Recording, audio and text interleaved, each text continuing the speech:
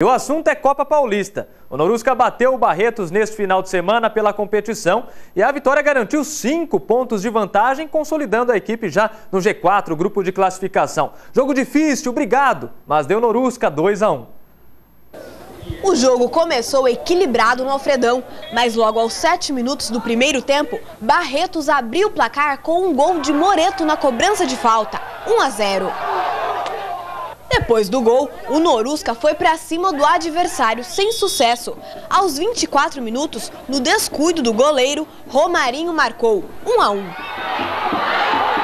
Com pouco mais de meia hora de partida, o meia Velica sofreu falta dentro da área. Pênalti cobrado por Fernando Russi no cantinho da trave. 2 a 1 para o Noroeste.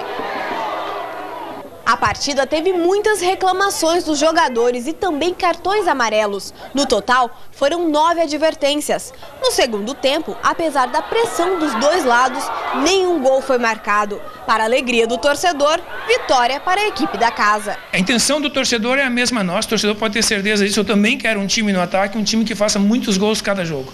Com a vitória, o Norusca se classifica entre os quatro primeiros do Grupo 1. A próxima disputa será contra o Marília em casa na quarta-feira. O adversário perdeu para o Santa Cruzense por 4 a 1 no final de semana. Dois jogos em casa, precisando do resultado.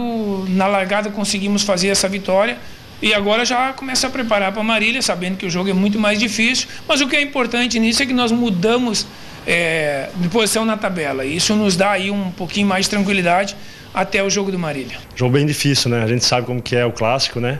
É, na terceira rodada teve também esse clássico, foi complicado, é, foi um jogo que patou 0 a 0 é, Todo mundo sabe também do dever que tem que fazer dentro de casa, né? Então a gente precisa ganhar, precisa chegar, ganhar e definir nossa classificação. E contra o MAC é clássico regional, né? Aí o bicho pega. Olha.